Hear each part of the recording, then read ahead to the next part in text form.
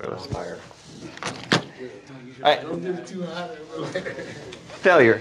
These these meter devices are built really, really, really, really awesome. They spend a lot of engineering into them to make sure these things work really well. The biggest cause of failure with this is how they're installed. How they're installed.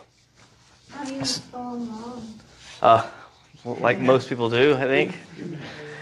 Human error. So you have one issue of the refrigerant that comes to this metering device needs to be clean, right?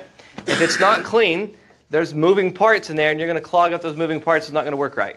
In the old days, we'd do a lot of off-roading and stuff. We had carburetors, and we get dirt in those carburetor pieces, and it would hang open or it wouldn't open. It would cause all kinds of havoc. So having dirt in there, they say like three grains of sand can can stop it up. Now there should never be sand in there, so, but it gives you an idea how how little contaminants it can be. So when people cut the copper, uh, then they ream it out, and when they ream it out, some of those little copper shavings, and that copper shavings can get hung up in here. When they braze the refrigerant lines together, which we'll be doing later, they a lot of times don't braze with nitrogen. And if you don't braze with nitrogen, you get oxidation because there's oxygen inside. Oxidation then washes off the lines when the refrigerant flows through, and that oxidation can build up inside of there. Somebody can pull a vacuum improperly and not pull a good vacuum, get moisture in the lines, and the moisture will freeze, turn to solids, and freeze the moving parts so they can't move. Uh, people, I have seen people before like, oh, they're not going to change the filter dryer. So they don't change the filter dryer, and it gets clogged up, and it lets stuff either pass on by or come apart even, and that causes that to be a problem. So that's one thing is contaminants like that from human error. Ideally, anything before the metering device will get caught here, but if it can only catch so much moisture, it can only do so much. Anything past that metering device. Now, in my day, we always put the filter dryer before the metering device. If you have a unit in the closet in the house, it's not too big of a deal uh, except the unit's up in the attic, and you got to do work out here. I don't know anybody that's going to carry all their torch set up to the attic to cut the lines just to put the filter dryer there. I don't, I don't see that happening. Are those directional? Yes. So it has an arrow, so I can put it here as long as the arrow is pointing that way, or I can put it outside as long as the arrow is pointing that way, or halfway in the middle as long as the arrow is pointing that way. Anywhere on this liquid line, I can put it. Any place on there. Uh, we used to put them before the metering device so that they would protect the metering device. But like I say, nobody's going to carry a torch set all the way up in the attic when it's 115, light the torch up with all the wood and everything around them, trying to balance on the 2 by 4s just to put the, the filter dryer there. You're going to end up putting it outside. If I have closet units, I, I preferred put them inside. Uh, that way they're protected in the metering device. But um, there's other reasons. Once we get the heat pumps, you see other reasons that that's not the only place they can go as well. You only can use one dryer? Yes, only one. If I have two, only one's going to work. The other's just going to be a restriction. Um, so the other thing is, uh, when we get this unit, uh, some of them come with them already there. Some of them you have to put it in yourself. But a lot of times this piece will be behind the panel, behind the box of the unit. And all your, your brazing parts where you hook up to the copper is going to be outside. This will be mounted inside, but where you braze up to it will be outside the box. So people don't think to open the box up and see what's inside or what's happening in there. So what they do is they hook the lines up together, light their torch, and start brazing this copper, which is very high temperature. What, what is this again, this name of this component? Sensing bulb. Sensing bulb. This sensing bulb is sensitive and sensing temperature. Right? Very small. You guys saw it didn't take much temperature change to start adjusting and opening and closing. So if you get this blazing hot, it's going to get that hot, which is going to cause a pressure increase, temperature increase, pressure increase, which is going to put more pressure on that sensing bulb, that diaphragm of that TXV, and you're going to damage that TXV. So people notoriously braze with that on, cause overpressure, and it may not damage right away. It may take a month or two months or a year or two years even, but it will damage it. And it overextends that moving part in there, and that diaphragm inside will be uh, damaged. Can rip it or weaken it, etc. So that's a big problem. Now the best thing to do is take that sensing bulb off completely loose from that line. Braze it up. Once it's done and cool, you can put it back on. You can also use uh, wet rags and uh, heat absorbing paste. What are wet rags going to keep that temperature at? Saturation. Wet rags? Saturation, which will be, PSID compared temperature. right? So what's the pressure on the wet rags? Zero psi. So what temperature is it going to boil at? Zero. Water's going to boil at zero degrees? A wet rag. Okay, a wet rag. I go to the faucet. I have a rag. I put water on it. It's now a wet rag. Okay? I wrap that around a piece of copper and use a torch at very high temperature heating the copper. That heat is going to transfer to that wet rag. That wet rag can only heat up to what temperature? There we go. Now we're there. You did, but you said it before we got we were leading there. So that wet rag can only keep it to 212. By keeping it at 212, we're going to help protect that sensing bulb. But the better way is don't even get it that hot. Take it off. Okay, so then we also have to braze this side. I can't take this piece off, so we have to wrap wrap it with wet rags. I think uh, Danfoss they recommend theirs at like 208, which is really odd because you can only keep it at 212 because you're wet rags. But they also make heat absorbing paste.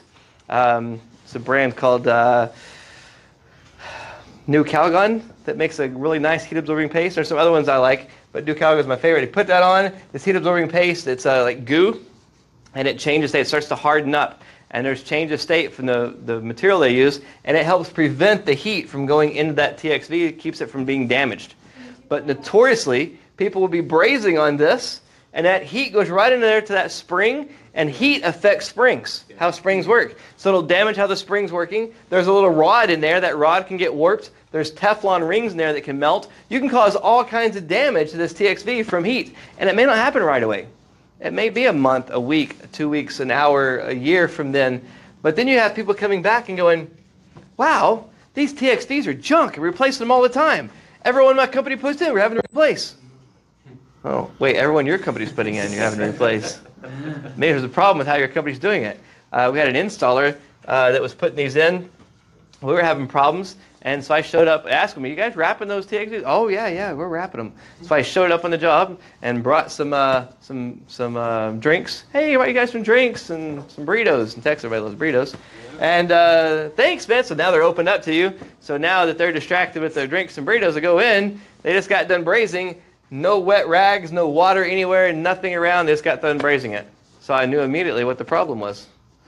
Right? So Did you take the burrito back? no, it was beyond the point of return. Um, so uh, it's a big issue. And I feel like, oh, and the installers don't see it. Their, their job is to try to get that done and out of there as fast as possible. So they're not thinking about the long-term effects, but it is long-term effects for that customer. It's a very big problem. Cannot overheat that TXV. Some people will put the wet rags on it and be brazing, and all the water will boil into a vapor, and they just keep on brazing. Well, maybe you have to stop and get the rag wet again, or get more wet rags. But once it all boils away, the temperature is going to go up. So boiling is a cooling effect. That water boiling is keeping it cool at a nice 212. So those are your two biggest things that cause the TXVs to fail. At one point, there was an issue with a compressor manufacturer that put an oil additive in the system. And this oil additive was a type of, I think, rust inhibitor. And this oil additive reacted with some of the refrigerant or refrigerant oil or something, and it actually got hung up in the TXVs and turned into a type of goo, and it started causing problems with the TXV. Uh, completely, that's the only one that I've seen they had failures outside of standard operating conditions, and there was a big deal about that, and some lawsuits involved, and everybody's pointing fingers at somebody else, but it was a pretty big deal. So TXVs, any questions about that? No? The best way to install them? Oh, install one. Good, good question. Some units come with them already there. They're already in the unit, ready to go. Fantastic. Other units, they come with a fixed orifice, which means there's a threaded fitting, and you unthread it, and a fixed orifice is inside. Uh, so they manufacture these units for everybody's sake. So let's say this section of the class from here this way wants it done right, wants it wants a, a better operating system, and versus a fixed hole, a fixed orifice, the conditions are going to change. Everything else is going to change. Versus the TXV that's going to adjust under reasonable conditions to try to maintain a superheat. So they know that that TXV is very valuable. Now these guys from this part of the class here, they're like, hey, I'm in business to make money, only money. I care about doing it, making money on everything I can, and I just want it done cheap. It's still going to work. It's still going to have cooling. I don't care about the details of efficiency.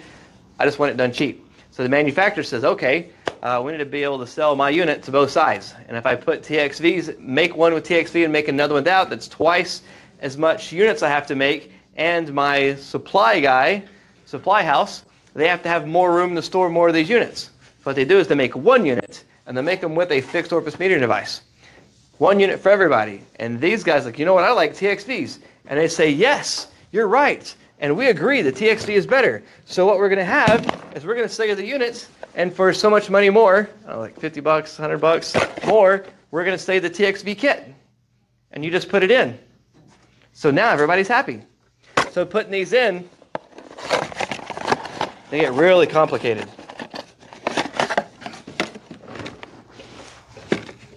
Um, there we go. This is what I want. All right, so if I get the TXV that matches this unit, there's a threaded fitting on there, and we braze this side up. If I unhook that threaded fitting and open it up, that little fixed orifice that we passed around last week, that little piece of brass is in there. I take that and I throw it away. That's gone. Now this will have the same exact fittings that was on here. So this piece I screw on where that orifice was, and it's got this extension so that you, you can't hook it up with the orifice in there. You have to remove it. And the other piece that's screwed on, I screw it on right here. Done. I mount this with a little hose clamp on the suction line. Done. And sometimes you have to drill a hole and braze this in, but most of them have a, um, a threaded piece that will fit on there. I don't think those did. Oh, where's that one that uh, that one? If we hold that one up, the suction pipe, the big pipe, the other pipe, the, the, yeah, see how it has a threaded fitting on it? Yeah. Some of them just already have a port there with the threaded fitting ready to go. Some of them leave you that actual piece of suction line that you can braze the suction line in. It has the port already on there. But either way, you uh, mount the suction line, screw that on, screw this on, screw that on. Now finish installing it like you normally do. It's easy. If the system hasn't been started up yet, it's easy. Yes. That's what I was gonna ask. So if it's brand new, do you still have to change out the filter? Or If it's no? brand new, you're going to put one in from the beginning. Like put a new one in. With, along with the, Along with, well, even if whether I installed the TXV or didn't install the TXV, you're still going to have to deal with your, your filter dryer. So if I have a customer, though, that has a system operating with a fixed orifice, I'm like, hey, this is better, now it's going to be a problem. Because now to install it, I got to take all the refrigerant out of the system. And then I have to install the, fil- the, the metering device. Then I have to put a new filter uh, dryer in there. Then I have to pressure test to make sure it's not leaking. And then I have to pull a good deep vacuum. Then I got to recharge the refrigerant. So now there's a lot of money and steps involved. But when it's new, it's like $50, $100 difference between a TXV working awesome and a fixed orifice working horrible. Under, and you're going to see the, the, the guys that use the fixed orifice, their excuse will be, well, according to the ratings, they have the same efficiency ratings. And that's true. But they test them in a factory where you have ARI conditions of a set evaporator temperature and humidity temperature and a set outdoor temperature. So this will close down or open up to the same exact point that that fixed orifice is for those conditions, and under those conditions it will operate. But outside those conditions, this is going to blow that thing away. It's going to be awesome. So I'll give you an example of what's happening. As the outdoor temperature outside goes up, what happens to the pressure out here? Goes up, good. So I have more pressure pushing it, it's more liquid. That means I'm pushing more liquid through this metering device, which that means I end up with more liquid on the other side of this metering device, right? So the outdoor temperature, will that affect your, in, uh, your indoor superheat? Yes. Yes. With a fixed orifice, yes. The temperature outside drops, what happens to the pressure outside? Drops. Uh, how- does that affect how much refrigerant is being pushed to that fixed hole? Yeah. So the outdoor temperature is going to affect the indoor superheat. And the temperature inside the house. As the temperature in the house goes up, is that going to affect my superheat? Yeah. As the temperature inside the house goes down, is that going to affect my superheat? Yeah. My humidity, as my humidity goes up, I have more latent heat to take out of the house. Is that going to affect my superheat? Yeah. As my humidity goes down, is that going to affect my superheat? Yep. All right, so now what happens when your outdoor temperature goes up, but your indoor temperature goes down, but your indoor humidity goes up? Oh, well, now we're all over the place, right? Yeah. Well,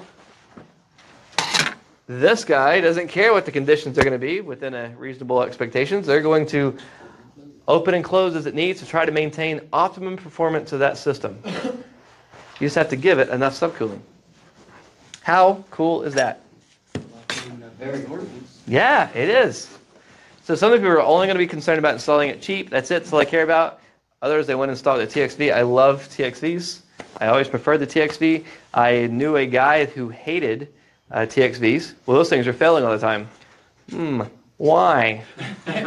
Why are they failing? So uh, he would actually go, and, and this this made me mad. He would say, "Oh, well, we'll go." Uh, every time I see a TXV, I like to cut them out and put a fixed orifice in there. What? What? You're downgrading people's systems. Yeah, exactly. Because he, but he didn't like the other one. It's like, well, it doesn't matter what you like. You're not gonna, like, you know, I don't like uh, my dad. Um, he, he's he's anti-computers and a lot of stuff. He's he's getting better now, but um, didn't like computers and stuff. And he doesn't use cruise control. He didn't want a computer controlling his vehicle. I'm like, Dad, never mind. I'm not even gonna go there. But uh, I I love my dad. But he is he doesn't want a computer controlling his vehicle. But uh, so it'd be like him saying he doesn't like cruise control. He's going to take cruise control out of everybody's cars that he works on.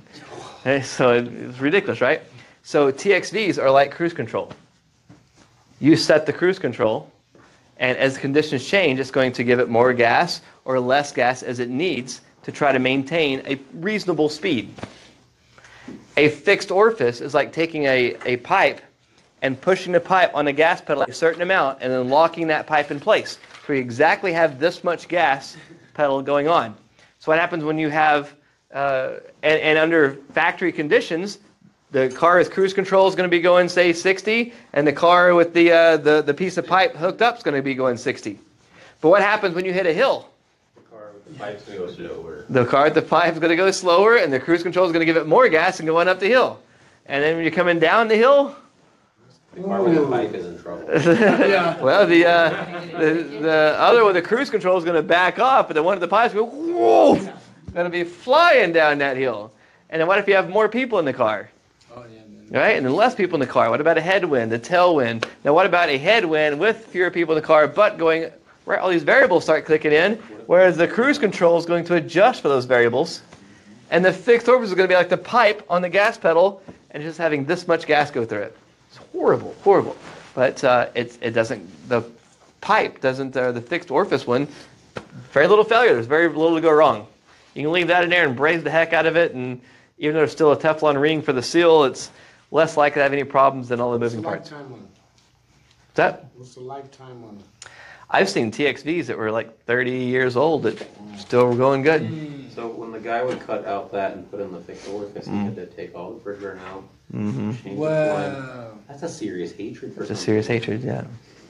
He made more work for himself because he didn't like And then probably charge that person for it too. Like, oh, Probably, yeah. It took me two hours. Yeah. So, anyways, gives you an idea about that TXV. So we're going to go back to the lab. Oh, um, so we want to check subcooling. Now, this is also a, a number. It's important. Usually, there's a tag on the units. And somewhere in that tag, there's a lot of information. But you look for something that says TXV or TXV subcooling or something subcooling, it'll have a number on there. And that number could be as low as 6 or as high as 12, or even I've seen it high as 16 before. Whatever that number they say is the number you go with. But the particular ones we have, I'm pretty sure they don't have a subcooling number posted on them. So if it doesn't say, you should contact the manufacturer and find out what subcooling they want. But if it's in the middle of the night and you can't get a hold of anybody, you need to get it going. A, a typical general number that people go with is 10 to 12. So let's just say that for the unit, for example, we're just going to go with 10 degrees of subcooling. So what we're going to do is we're going to go out to the lab and we're going to check our subcooling on the system. We're going to let it run a little bit, just for a few minutes, let it balance out. We're going to check our subcooling and see what it's at. And then after we know our subcooling is good, then we'll check our superheat to see how our TXV is doing. Okay? And then we'll decide what's going on with the system. We'll look at our superheat and we'll see if it's flooded, good, or starved. We'll look at our uh, suction line or superheat and see if it's uh, good, bad, or different, uh, flooded, starved, or good. And then we'll decide if we need to add refrigerant, remove refrigerant, or if there's some other problem. All right? So let's go to the lab.